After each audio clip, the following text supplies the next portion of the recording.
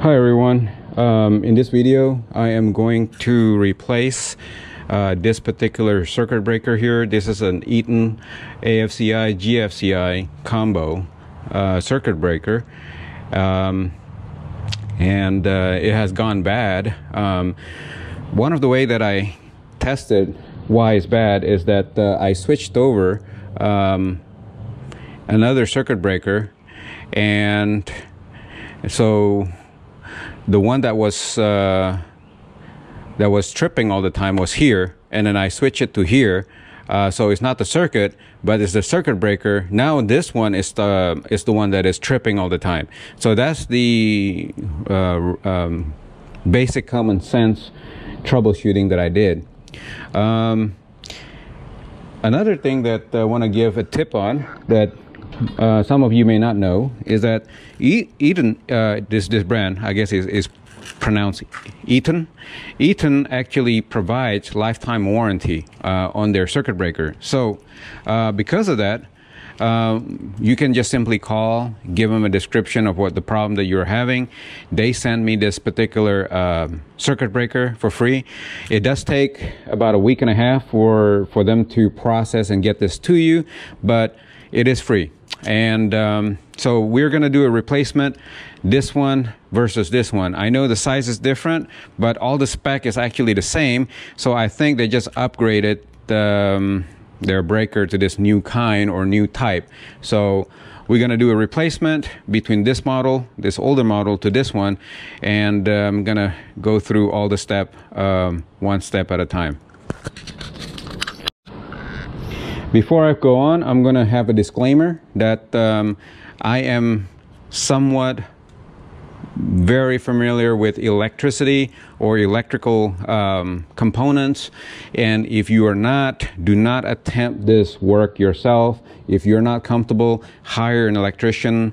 Um, I, I'm not going to be responsible for anybody hurting themselves or damaging some equipment or causing a fire or um, God forbid, even death, etc. So if you're not comfortable or do not know what you're doing with electricity, stop watching this video, hire an electrician uh, to replace your circuit breaker yourself. All right, so let's get started by uh, first I am going to be, I'm letting you know that I'm going to be doing this live uh, meaning I'm not going to shut off my main breaker. I'm going to leave it live. And the reason for that is, again, um, being very careful.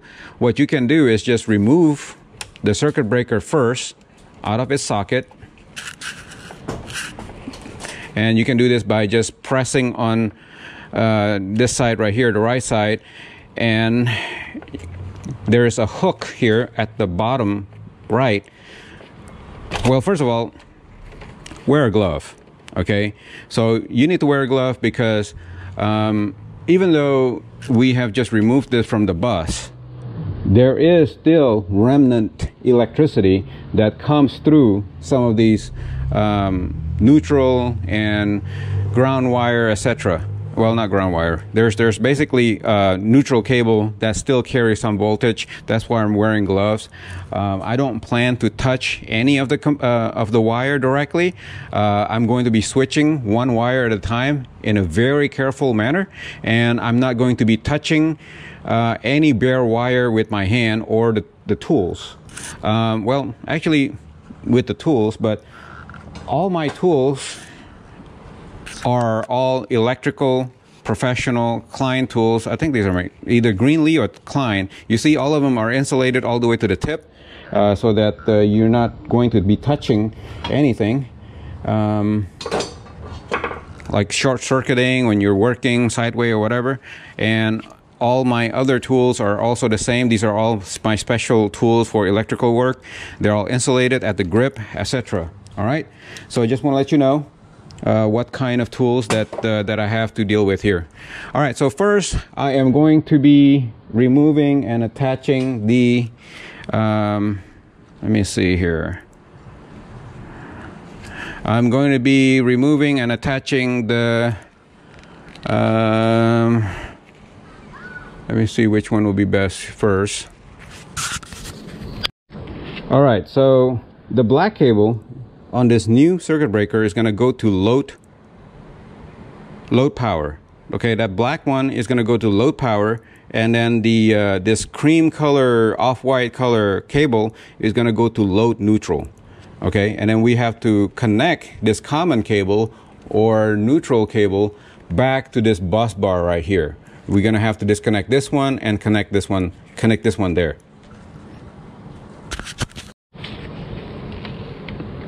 so we're to carefully loosen this one okay? And then we're going to catch the cable and slowly attach it to load power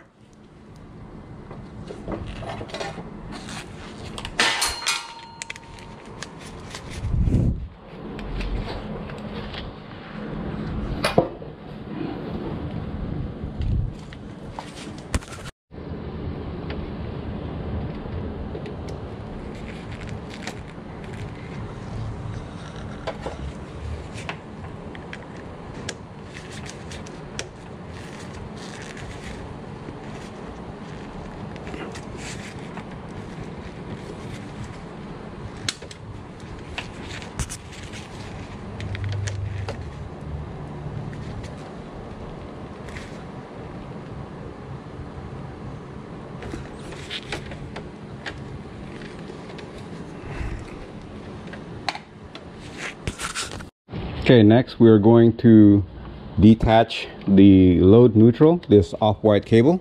So we're just gonna loosen it and do the same thing. We're gonna catch the cable.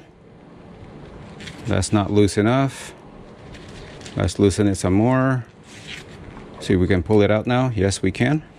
All right, you're just gonna let that dangle right there. And we are going to attach that to this side to the load neutral side. And we're going to screw that in.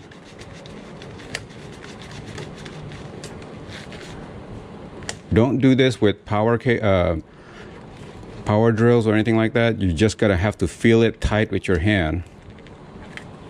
All right now that we got those two on we're gonna try to figure out if we can trace this cable back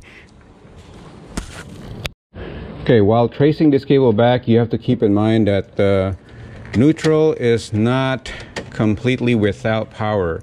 So sometimes there's electrical surges from, I guess, devices and things like that that comes back to neutral. I have gotten electrocuted before from basically just touching neutral cables. So especially if it's, uh, I think what they call common bonded, I think is definitely possible. So still, be very careful when you're tracing this. Do not touch any cable and uh, make sure that you're wearing gloves.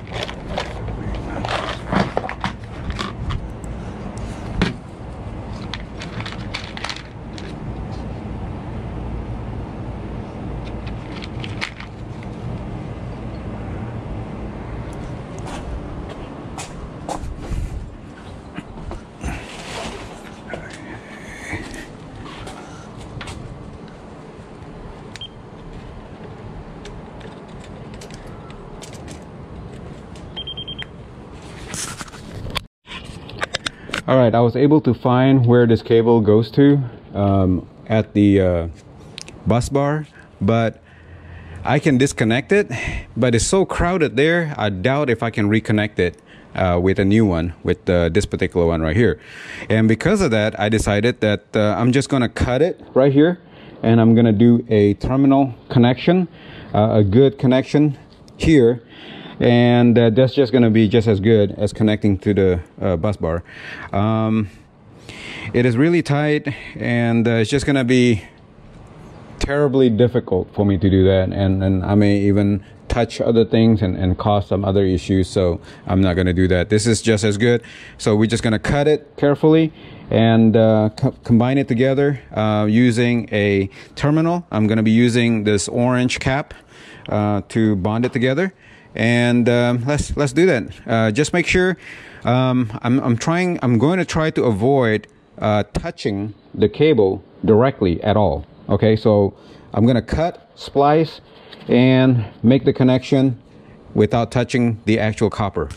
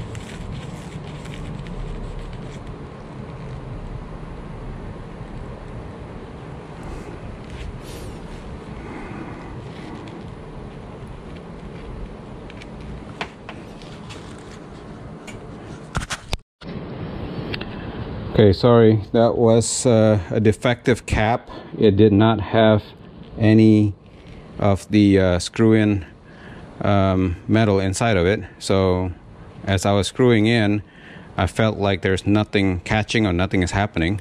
And when I look in, sure enough, there is absolutely no metal inside the plastic cap.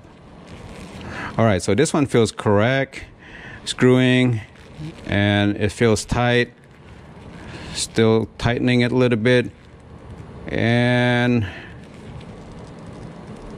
there we're good. All right so all right we got the uh, common wire and we can just kind of tuck this in later uh, over there.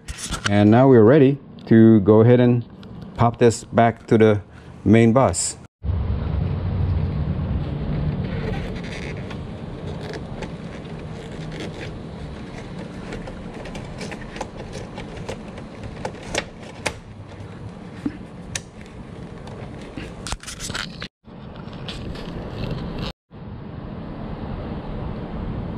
Okay, so you want to hook the inside first. Right now it's already hooking. And then all you have to do is now is just press it down here. Make sure that your breaker is off be, uh, before you make this final push.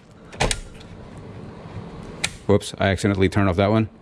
All right, so now that it's all seated, make sure you check the connection. They're still there and they're still tight. This is good, this is good.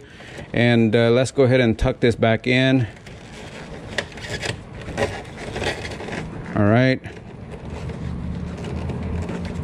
and uh, I think we're ready to flip the switch let's tuck this in and see if it works All right.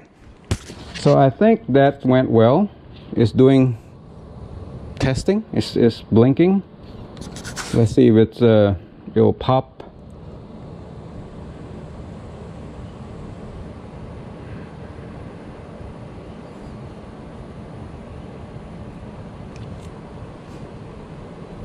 Still blinking.